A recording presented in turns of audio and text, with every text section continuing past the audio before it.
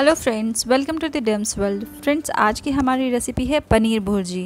तो आप देख सकते हैं, यहाँ पे मैंने एक प्याज को छोटे छोटे टुकड़ों में काट लिया है, एक छोटी हरी मिर्ची उसे भी काट लिया है। थोड़ी सी जिंजर और गार्लिक को हम ग्रेट करेंगे यूज़ करेंगे हम 200 ग्राम पनीर और थोड़ा सा टोमेटो सॉस आप चाहे तो डायरेक्ट टमाटर भी यूज़ कर सकते हैं।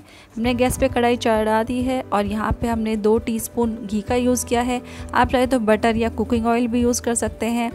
घी गर्म होने पर हमने इसमें वन टीस्पून जीरा डाल दिया है, ये हल्का ब्राउन हो गया है। तब हम इसमें प्याज, मिर्ची जिंजर और गार्लिक डाल के इसे थोड़ा सा सौते कर लेते हैं। इसे हमें बिल्कुल लो आँच पे ही पकाना है। इसे आप ज़्यादा ना पकाएँ, इसे हल्का सा रॉ रखें तो इसका टेस्ट अच्छा लगेगा।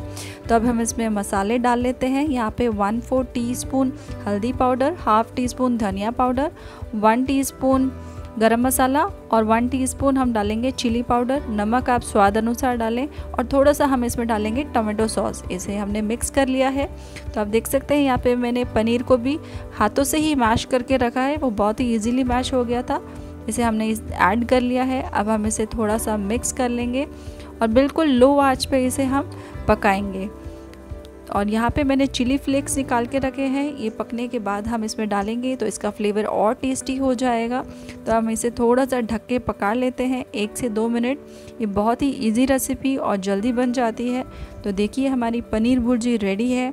अगर ये वीडियो आपको पसंद आया हो तो अपने फ्रेंड्स और फैमिली के साथ ज़रूर शेयर करें।